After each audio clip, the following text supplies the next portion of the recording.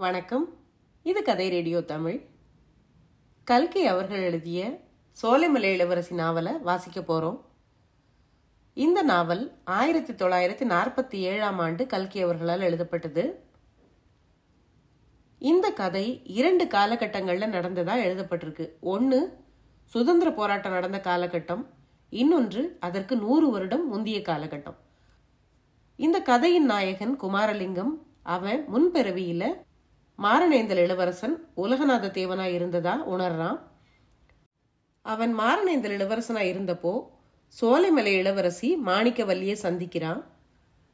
அந்த கதையையும் சுதந்திர போராட்ட கதையையும் இணைச்சு சுவாரஸ்யமா கல்கி அவர்கள் இந்த கதையை எழுதியிருக்காரு. இந்த கதையை தினம் ஒரு அத்தியாயமா நம்ம வாசிக்கலாம். இப்போ வாங்க நாவலுக்குள்ள போலாம்.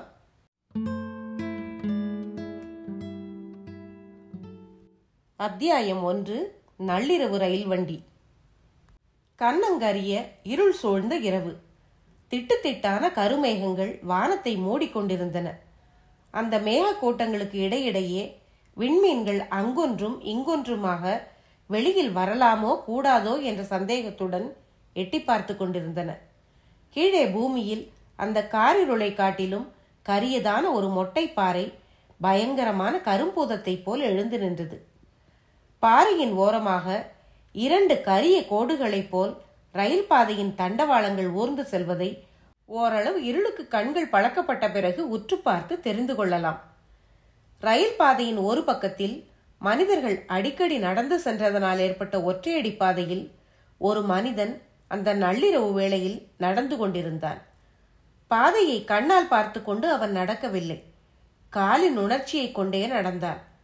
ரயில் தண்டவாளத்தின் ஓரமாக குவிந்திருந்த கருங்கல் சல்லிகளில் அவனுடைய கால்கள் சில சமயம் தடுக்கின. ஒற்றையடி பாதையின் மற்றொரு பக்கத்தில் வேலியைப் போல் வளர்ந்திருந்த கற்றாழை செடியின் முட்கள் சில சமயம் அவனுடைய கால்களில் குத்தின. அவற்றையெல்லாம் அந்த மனிதன் சற்றும் பொருட்படுத்தவில்லை. அவனுடைய நடை சிறிதேனும் தளரவில்லை. தடுக்கல்களையும் தடங்கல்களையும் பொருட்படுத்தாமல் விரைவாக நடந்தான் அவன். ரயில் பாதை ஓரிடத்தில் மொட்டைப்பாறையை வளைத்து கொண்டு சென்றது. வளைவு திரும்பிய உடனே இரத்த சிவப்பு நிறமான பெரிய நட்சத்திரம் ஒன்று தோன்றி அந்த நள்ளிரவு பிரயாணியின் கண்ணை பறித்தது. அங்கே நின்று சிறிது நிதானித்து பார்த்து அது நட்சத்திரம் இல்லை.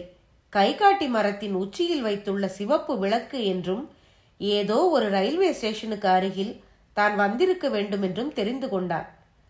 மேலும் ரயில் பாதையை தொடர்ந்து போவதா அல்லது ரயில் பாதையை அங்கேயே விட்டுவிட்டு வேறு வழியில் திரும்புவதா என்று அம்மனிதன் எண்ணமிட்டான். அந்த வேளையில் வேறு வழி கண்டுபிடித்து செல்வது என்பது சுலபமான காரியமில்லைதான். ரயில் பாதையின் ஒரு பக்கத்தில் கரிய பாறை செங்குத்தான சுவரை போல் நின்றது. மற்றொரு பக்கத்தை உற்று பார்த்தான். கல்லும் முள்ளும் கள்ளியும் கருவேல மரமும் நிறைந்த காட்டு பிரதேசமாக காணப்பட்டது. ஆயினும் அந்த காட்டு பிரதேசத்தின் வழியாக சென்றுதான் வேறு நல்ல பாதையை கண்டுபிடித்தாக வேண்டும். ரயில்வே ஸ்டேஷனுக்கு போவது ஆபத்தாக முடியலாம். இவ்விதம் அந்த பிரயாணி யோசித்துக் கொண்டிருந்த போது அவனுக்கு எதிரே தெரிந்த கைகாட்டியின் விளக்கில் ஒரு மாறுதல் ஏற்பட்டது. சிவப்பு வெளிச்சம் பளிச்சென்று பச்சை வெளிச்சமாக மாறியது. அந்த மாறுதல் ஏன் ஏற்பட்டது என்பதை அம்மனிதன் உடனே ஊகித்து உணர்ந்தான். தான் வந்த வழியே திரும்பி சில அடி தூரம் நடந்தான். வளைவு நன்றாய் திரும்பியதும் நின்று தான் வந்த திசையை நோக்கி கவனமாக உற்று பார்த்தான். வெகு தூரத்தில் மின்மினி பூச்சியை போன்ற ஓர் ஒளித்திவலை பெரிதாகிக் கொண்டு வந்தது. ரயிலின் சத்தமும் அந்த திசையிலிருந்து கேட்கத் தொடங்கியது. ரயில் ஒன்று நெருங்கி வருகிறது என்று தெரிந்து கொண்டான். நம் கதாநாயகனுடைய உள்ளம் ஒரு கணம் துடித்தது. அவனுடைய கைகளும் துடித்தன. மறுகணம். அவன் மிக விந்தையான காரியம் ஒன்றை செய்தான். தன்னுடைய அரை சட்டையின் பையிலிருந்து ஏதோ ஒரு ஆயுதத்தையும் ஒரு சிறு டார்ச் லைட்டையும் எடுத்தான். டார்ச் லைட்டின் விசையை அமுக்கி தண்டவாளத்தின் மீது விழும்படி செய்தான். ஒரு வினாடி நேரம்தான் விளக்கு எரிந்தது. அந்த வினாடியில் அவன் பார்க்க வேண்டியதை பார்த்து கொண்டான். ஒரே பாய்ச்சலில் தாவிச் சென்று தண்டவாளத்தில் ஓரிடத்தில் போய் உட்கார்ந்தான். ஆயுதத்தை கொண்டு ஏதோ செய்தான். திருகை சுழற்றுவது போன்ற சத்தம் கேட்டது. பின்னர் எழுந்து நின்று தன்னுடைய பலம் முழுவதையும் உபயோகித்து தண்டவாளத்தை பெயர்த்து நகர்த்தினான். அவ்வளவுதான். அடுத்த நிமிஷம் ஆயுதத்தை வீசி எறிந்துவிட்டு கற்றாழை வேலியை ஒரே தாண்டலாக தாண்டி குதித்து வேலிக்கு அப்பால் இருந்த காட்டு நிலத்தில் அதிவேகமாக ஓட ஆரம்பித்தான். இரண்டு மூன்று தடவை தடுமாறி கீழே விழுந்து மறுபடியும் எழுந்து ஓடினான். சுமார் அரை ஃபர்லாங்கு தூரம் ஓடிய பிறகு சற்றே நின்று திரும்பி பார்த்தான். ரயில் வண்டி பாறையின் வளைவை நெருங்கி நெருங்கி வந்து கொண்டிருந்தது.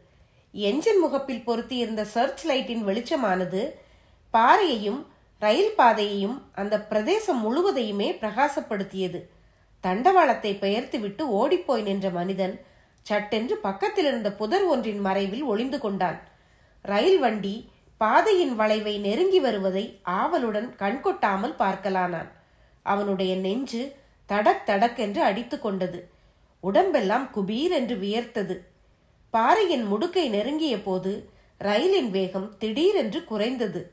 சட்டென்று பிரேக் போட்டு ரயிலை நிறுத்தும் போது உண்டாகும். கடபுட சத்தங்களும் ரயிலில் சக்கரங்கள் வீலிடும் சத்தங்களும் கலந்து கேட்டன. ரயில் நின்றது.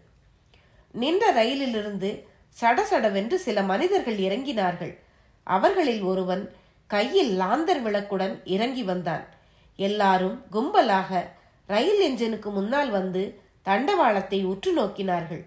ஏக காலத்தில் காரசாரமான வசை மொழிகள் அவர்களுடைய வாயிலிருந்து வெளியாயின. இரண்டொருவர் குனிந்து பெயர்த்து நகர்த்தப்பட்டிருந்த தண்டவாளத்தை சரிப்படுத்தினார்கள்.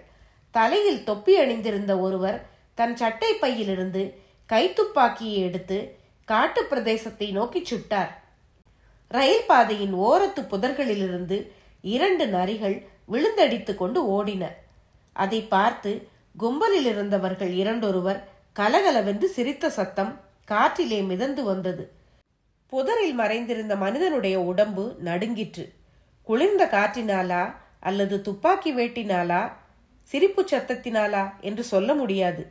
மேலும் சில நிமிஷ நேரம் அங்கேயே நின்று அந்த மனிதர்கள் பேசிக் கொண்டிருந்தார்கள். எப்பேற்பட்ட அபாயத்திலிருந்து ரயில் தப்பியது என்பதை பற்றித்தான் அவர்கள் பேசியிருக்க வேண்டும். பிறகு எல்லாரும் திரும்பிச் சென்று அவரவர்களுடைய வண்டியில் ஏறிக்கொண்டார்கள் அவர்கள் திரும்பிய போது ரயிலின் ஒவ்வொரு வண்டியிலிருந்தும் சிலர் தலையை நீட்டி என்ன சமாச்சாரம்? என்று விசாரித்ததும் புதரில் ஒளிந்திருந்த நம் கதாநாயகனுக்கு தெரிந்தது. சிறிது நேரத்துக்கெல்லாம் ரயில் கூவல் சத்தத்துடன் புறப்பட்டது.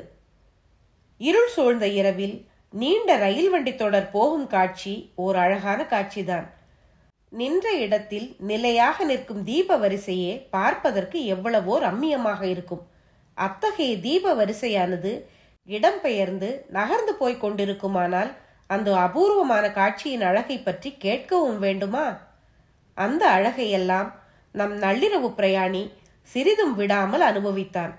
ரயில் வண்டி தொடரில் கடைசி வண்டியும் தீப வரிசையில் கடைசி தீபமும் மலை முடுக்கில் திரும்பி மறையும் வரையில் அவன் அந்த காட்சியை அடங்காத ஆவலுடன் பார்த்து கொண்டிருந்தான். பிறகுதான் அவனுக்கு சுயநினைவு வந்தது. அவனுடைய மனதில் அதற்கு முன் என்றும் அனுபவித்தறியாத அமைதி அச்சமயம் குடிகொண்டிருந்தது. தான் செய்த காரியத்தினால் அந்த ரயில் வண்டி தொடருக்கும். அதிலிருந்த நூற்றுக்கணக்கான ஆண் பெண் குழந்தைகளுக்கும் நல்ல வேளையாக அபாயம் எதுவும் ஏற்படாமல் போனதில் அவனுக்கு அளவில்லாத திருப்தி உண்டாகியிருந்தது அத்தியாயம் ஒன்று முடிவடைந்தது. அடுத்த பகுதியில் ரெண்டாவது அத்தியாயத்தை வாசிக்கலாம். நன்றி.